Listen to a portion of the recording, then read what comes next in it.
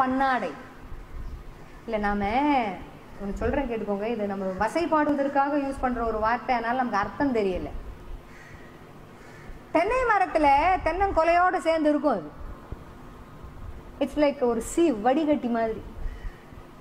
அந்த பன்னாடைங்கிறது தேனெல்லாம் வடிகட்டுறதுக்கு அதை யூஸ் பண்ணுறது உண்டு. அந்த பன்னாடை என்ன பண்ணுமா? தேனை வடிகட்டும் பொழுது நல்ல தேனெல்லாம் விட்டுடும் கசண்டை மட்டும் சிக்கு மாதிரி பிடிச்சிக்கும். அதனால தான் பிறரிடம் இருக்கும் குறைய மட்டுமே பார்த்து நிறைய பார்க்காத ஒருவனின் புத்தியை பன்னாட புத்தின்னு சொல்லுவோம். உனக்கு ஏன்டா இந்த பன்னாட புத்தி? அப்படின்னு திட்டுற வார்த்தை இல்லை. ஏன்டா நல்லதெல்லாம் விட்டுட்டு கெட்டதை மட்டும் சிக்கு மாதிரி பிடிச்சிக்கிறியா? அதுதான் பன்னாடி புத்தி.